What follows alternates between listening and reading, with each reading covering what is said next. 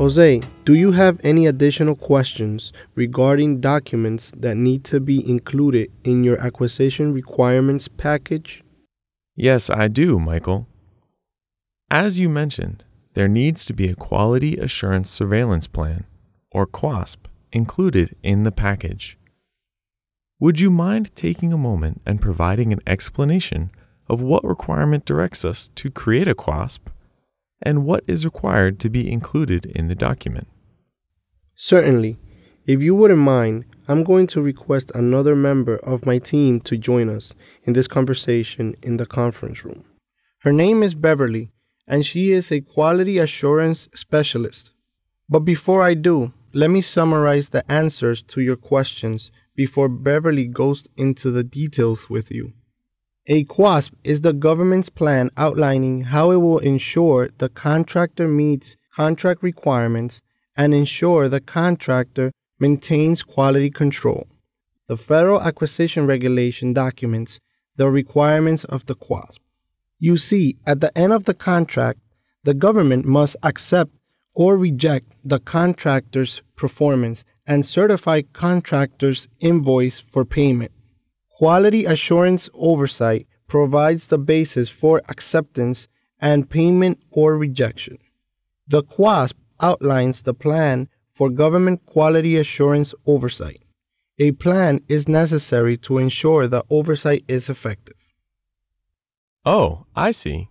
The QASP is a plan to oversee the contractor to ensure we get what we pay for and ensure the contract is meeting our needs. Exactly. And as with any plan, a QASP should contain the five W's who, what, where, when, and why, and should also contain the how. With regard to a QASP, those five W's are translated to what will be inspected, when it will be inspected, who will inspect, where inspections will take place, why inspections are needed, and how the inspections will be conducted. The why is answered by identifying risk level, and the how is answered by determining the method of surveillance. Give me one moment while I call Beverly and see if she is available through video teleconference. She can answer your questions in more detail.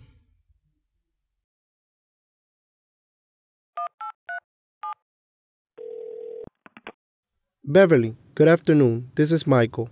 I'm with one of our customers, Jose, and going over the acquisition requirements documentation. Specifically, the QASP you and I were talking about not long ago. Do you have a few minutes to link up via video teleconference and go over it with Jose? Great, I will teleconference you in shortly. Good news, Beverly is available. She will join us in a moment via video teleconference in the conference room just down the hall.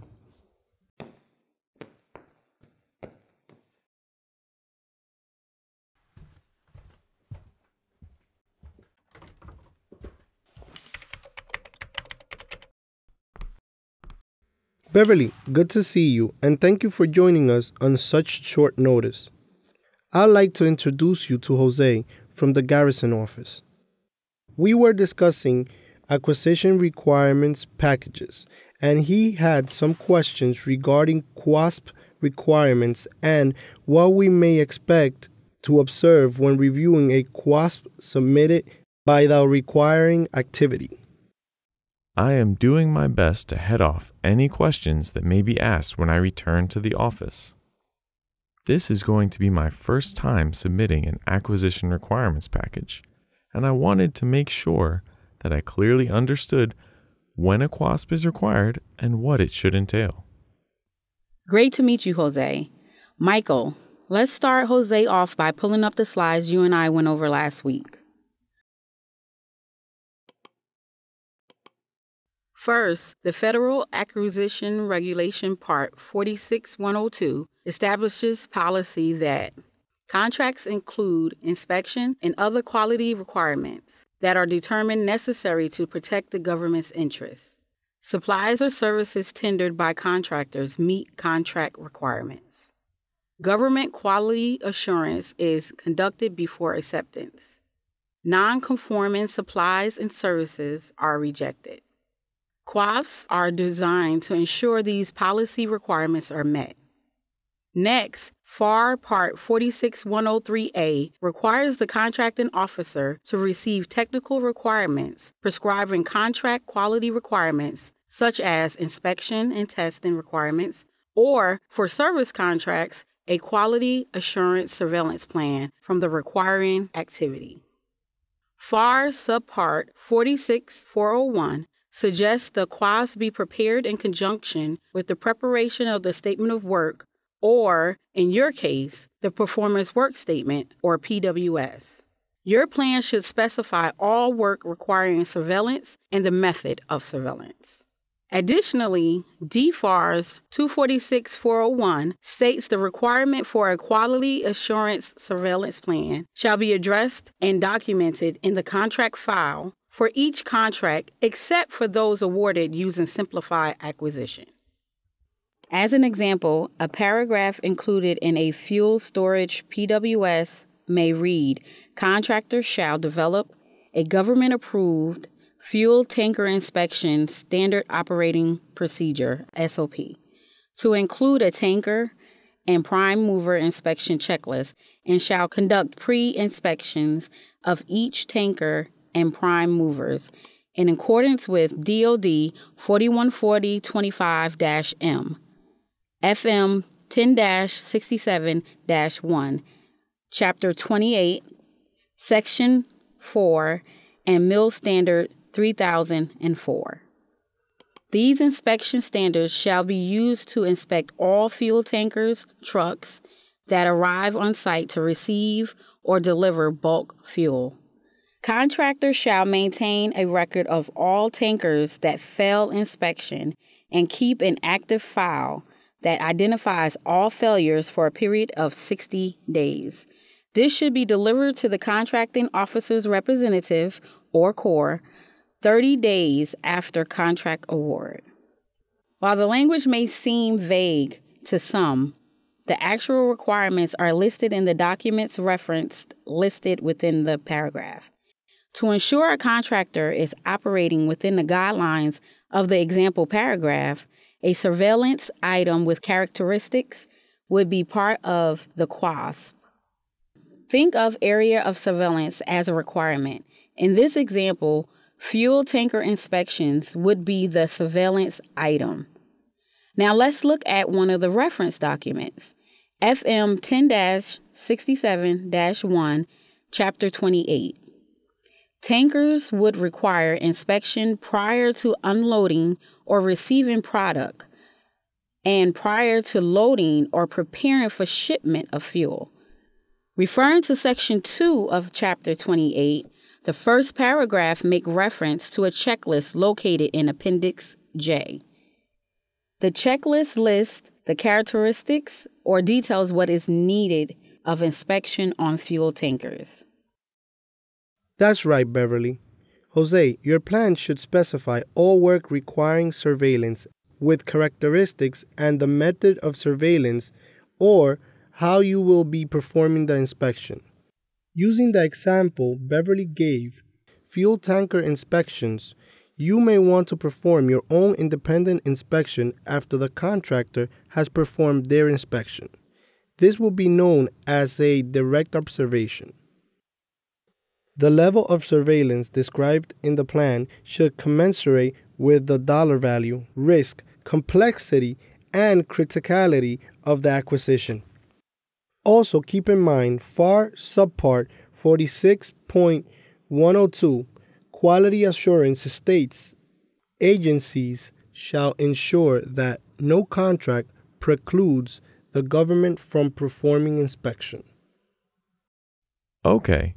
So the QASP evolves and will formalize a plan for a detailed scheme or method of government oversight and surveillance. Am I correct? Beverly, you also mentioned talking about the specifics of what a QASP should have in it. Can you elaborate? Yes, you are correct. And I'd be happy to elaborate on that. There are a lot more things that need to be in a QASP, and the designated COR, along with the contracting officer's concurrence, will develop those elements. The QASP needs to address risk, work effort, and the personnel responsible for oversight and surveillance. Any unique, singular, or special requirement of the contract, performance, or inspection, and acceptance criteria that may have been previously referred to in general terms, that is, by title or referenced in the PWS or Performance Requirement Summary or PRS, shall now be specifically identified, risk rated, and prioritized along with any special requirements. Specific procedural steps for such things as corrective action, contractor nonconformance, meeting and reporting procedures, lines of communication, unique inspection checklists, and accompanying schedules shall also be completed. Oh, I see. Well, it looks like I'm going to have some work ahead of me. No, not really. If you consider all the effort you put into the performance work statement, the bulk of the work for the QASP is nearly complete. Think about this. For every requirement you generate, take a moment and think about how someone from outside the contractor would be able to validate contract requirements are being met. Many contract requirements are contained in contract clauses, not just the PWS.